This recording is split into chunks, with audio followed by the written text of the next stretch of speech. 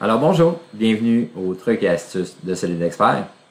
Pour ceux qui ne me connaissent pas, bien, mon nom c'est Alain Provo, représentant technique chez Solide Expert depuis euh, bientôt les 10 ans. Eh oui, déjà 10 ans. Donc, euh, aujourd'hui, on va poursuivre dans notre euh, story à propos de MBD. Alors, on est à la troisième section pour MBD. On a appris le pourquoi on utiliserait donc MBD, euh, les avantages ensuite d'utiliser MBD. Et puis, ben, on va regarder un peu à l'intérieur de SolidWorks, juste pour vous titiller, euh, qu'est-ce que MBD va vraiment être en mesure de faire. Donc, sans plus tarder, je vais passer à mon modèle, qui était celui qu'on avait euh, dans les dernières présentations. Donc, la plaque ici qui maintient notre charnière de capot. Alors, ce qu'on veut faire ici, c'est aller sur l'icône de DimExpert, naturellement, puisque c'est là où on va voir l'arbre, un peu l'arbre de construction, comme dans SolidWorks, mais au niveau des annotations et dimensionnements qu'on va faire. Donc, oui, avec DimExpert, on peut faire des annotations ici, sans problème. Mais maintenant, parce que j'ai MBD, j'ai des onglets en bas qui vont s'être ajoutés, dont celui qui est spécifiquement pour MB, euh, MBD, donc les vues 3D. C'est ça ici qui va faire en sorte que je vais pouvoir maintenant capturer les annotations, les dimensions sur une vue spécifique. Donc, naturellement, le but des trucs et astuces, ce sont de très très courtes euh, vidéos d'environ deux minutes, deux minutes et demie.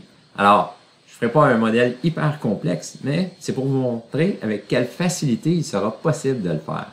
C'est possible de le faire sous diverses manières. On pourrait utiliser un schéma de cotation automatique qui va remplir ma pièce de cotation que je pourrais ensuite euh, mieux définir sur quelle vue que je les désire. Donc, c'est oui, des automatisations qui vont être faites grâce à cet outil.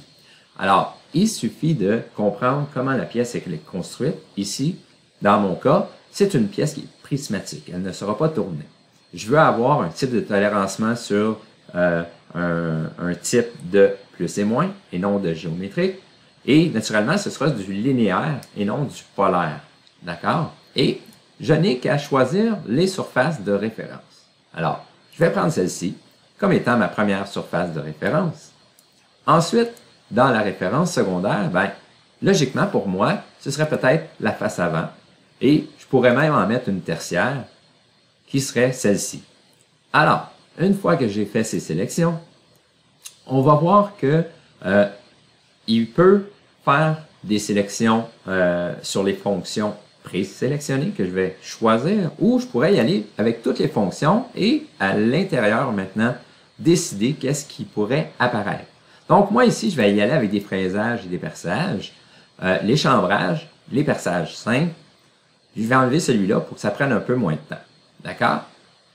Alors, on va y aller comme ça, juste pour voir comment MBD va rapidement pouvoir comprendre qu'est-ce qu'il a vu sur la pièce et réaliser des cotations vraiment de manière rapide et très précise.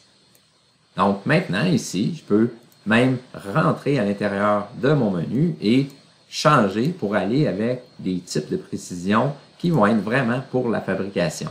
Alors, vous voyez que maintenant, cet outil-là va me permettre de bien comprendre puisqu'il va mettre en surbrillance toutes les choses. Si je désire avoir toutes ces cotations-là sur la vue de face, ben, très simplement, ce que je vais faire, je vais capturer une vue, par exemple, et je vais pouvoir dire que c'est sur la vue de face, ici. Donc, je vais, vais l'appeler vue de face, et je vais simplement garder ici ma vue de face. Donc, de cette manière, ces cotes, maintenant, vont faire partie de la vue de face. Ce que ça veut dire, ça veut dire que lorsque je suis euh, avec les annotations dynamiques, je peux ne pas les voir, mais parce que j'ai prédéfini une vue, si je clique sur cette dernière, il va pouvoir venir me la mettre et mettre en surbrillance euh, ces dernières. Là, j'ai pas fait attention, j'ai choisi la vue isométrique ici, mais on comprend qu'est-ce qui est arrivé. Donc, je peux faire la même chose en venant euh, chercher, par exemple, peut-être euh, d'autres cotations. Pourquoi pas, on, va en ajouter une euh, rapidement comme ça. On va ajouter euh, tout, tout, tout, qu'est-ce qu'on ajouterait? Grâce à une cote intelligente, on va ajouter, par exemple, l'épaisseur ici de ma, de ma pièce. Alors, comme ça, maintenant, on va avoir ajouté cette cote-là. Et si je le désire, je pourrais comme ça venir dire, ah ben tiens, elle va faire partie de cette vue-là et je vais la capturer comme étant maintenant la vue, tiens, celle-là c'était ma vue de gauche, pourquoi pas? Donc, ma vue de gauche,